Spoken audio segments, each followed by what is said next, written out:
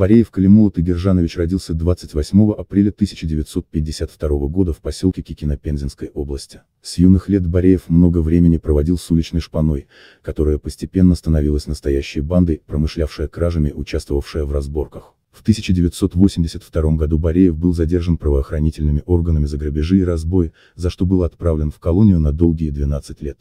До этой судимости Бореев серьезно не относился к ворам в законе и не понимал, почему многие арестанты стремятся стать одними из них. Но несмотря на это, с первых дней в тюрьме он вел себя спокойно и уверенно общался с блатными. Проведя длительное время за решеткой, у Бореева начало складываться иное представление о ворах в законе. Он в них видел интеллигентных, опытных и авторитетных людей, благодаря которым жизнь на зоне не превращается в хаос и зэки не творят беспредел. К тому же он глубоко проникся самой идеей воровского мира. Бореев вышел на свободу в 1993 году. Имея большие амбиции и стремление стать вором в законе, он организовал собственную преступную группировку, которая одна из первых в Пензе занималась рэкетом. Часть нажитого направлялась в воровской общак. Помимо этого Бореев лично стал доставлять провиант и вещи первой необходимости для арестантов в местные тюрьмы. Столь активное участие в воровской жизни позволило Борееву в июне 1998 года стать коронованным законником. С этого момента он и получил свое прозвище «Дядя Коля». Его так прозвали,